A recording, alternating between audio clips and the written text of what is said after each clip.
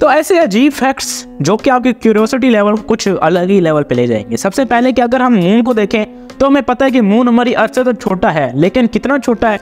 ये खैर मुझे भी नहीं पता था इस वीडियो के बनाने से पहले। अगर हम मून को देखें तो मून का जो एक्चुअली डायामीटर है, वो है तकरीबन 3500 किलोमीटर्स लेकिन अगर हम अपने ऑस्ट्रेलिया कॉन्टिनेंट को देखें तो उसका डायामीटर है 4000 किलोमीटर्स यानी कि जो हमारा मून है, उसको हम उठा के बड़े प्यार से ऑस्ट्रेलिया के कॉन्टिनेंट के ऊपर रख सकते हैं। ऑलमोस्ट दोनों का जो है वो बराबर हो जाएगा काम। मतलब कि इतना ज़्यादा छोटा है कि मून जो वो हमारे एक कॉन्टिनेंट के बराबर है।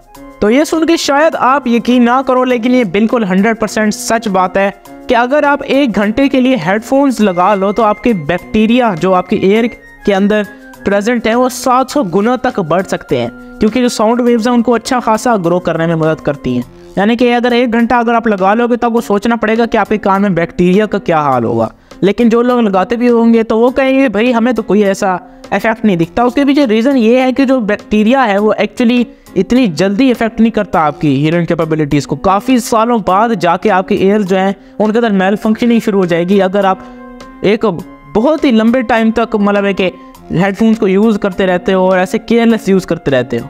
तो हर कंट्री का एक नेशनल एनिमल ज़रूर होता है, लेकिन क्या आपने सोचा है कि जो स्कॉटलैंड है, उसका नेशनल एनिमल क्या है? यूनिकॉर्न यानी कि एक मिथ्स के ऊपर बेस्ड एक एनिमल अगर हम बाकी किसी भी कंट्री को देखें तो उनके जो एनिमल्स हैं नेशनल वो एक्चुअली एग्जिस्ट करते हैं रियल एनिमल्स हैं। लेकिन ये जो स्कॉटलैंड है, इसका एनिमल जो नेशनल है ना, वो उनको कहीं मिलेगा भी नहीं, क्योंकि ये सिर्फ़ मिथ्स में ही पाया जाता है।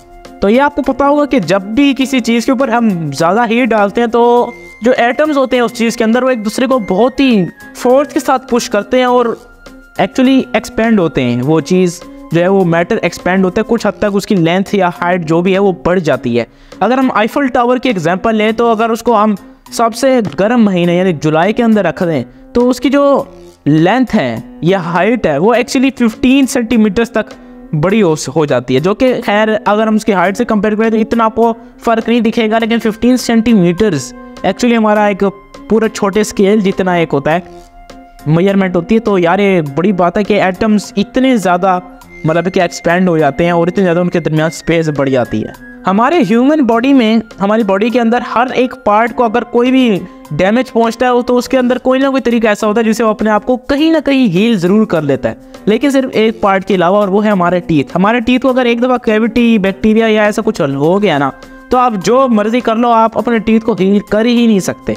मतलब कि आपके टीथ एक्चुअली हील नहीं हो सकते, क्योंकि वो अकेले ही ऐसे ऑर्गन है जो कि पूरे बॉडी में कोई हीलिंग कैपेबिलिटी नहीं है। इनके एक दफ़ा डैमेज हो गए तो बस हो गए।